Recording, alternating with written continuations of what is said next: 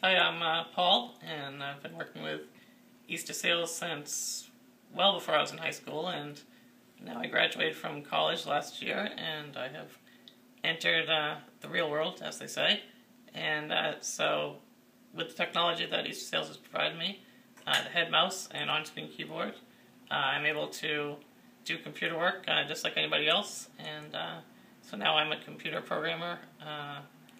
I write software that pretty much tries to make computers run faster and more efficient. And uh, with Easterseals technology, I, uh, I myself operate the computer much more efficiently than I ever could.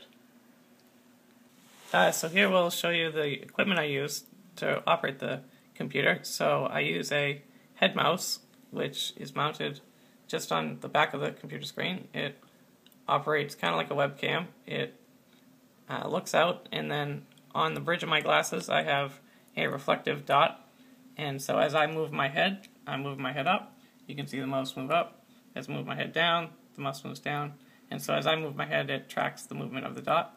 Uh, we will type just a simple sentence. And you're using Dwell right now? Yes. Okay. And you can also click with your mouse Yep. Instead of dwelling? Yep, so the auto click feature, it is very fast, um, two tenths of a second, but sometimes I found myself clicking on things accidentally or whatnot. Uh, so I've just mounted the mouse uh, backwards with the buttons facing me and used a piece of good old duct tape. And so I can press the mouse button very easily. I can hold it down to do a drag or a double click. And uh, yeah, so this setup has worked great for me.